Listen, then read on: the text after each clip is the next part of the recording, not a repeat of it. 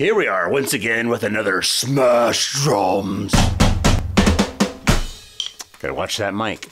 So today we're going back to the days of grunge, and sorry, I'm not wearing flannel today. It's way too hot. And our song is Man in the Box by Alice in Chains. And I don't have much to say about this song itself, but the reason I'm playing it is because this is one of those songs when my high school singer um, called me six years ago to rehearse with them while their drummer was out. This is one of the songs they played, so this is one of the songs I learned. And when I hear the title, Man in the Box, that makes me think of an old That's Incredible episode. You remember that show, That's Incredible? There was a guy who squeezed himself into a small plexiglass box.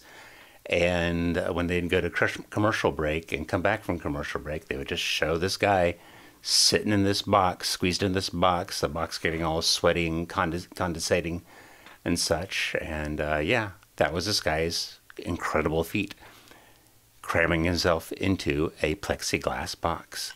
Look it up. And I don't think there's much to it, much more to it than that. So here we go.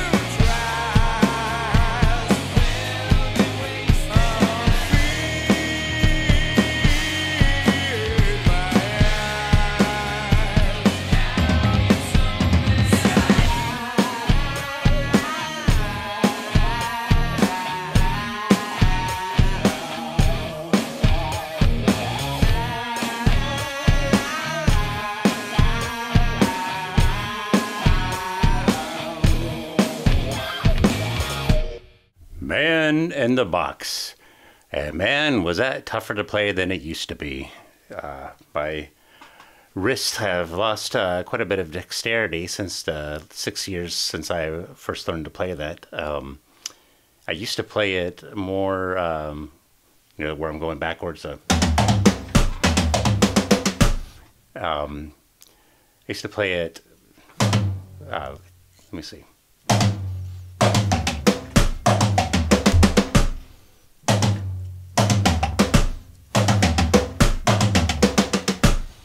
So a little bit more uh, rudiments, paradiddles and stuff, but um, I've lost quite uh, that.